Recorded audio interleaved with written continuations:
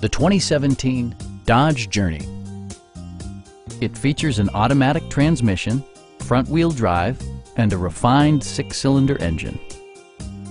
This model accommodates seven passengers comfortably and provides features such as front and rear reading lights, a built-in garage door transmitter, an automatic dimming rear view mirror, an outside temperature display, a roof rack, and a split folding rear seat.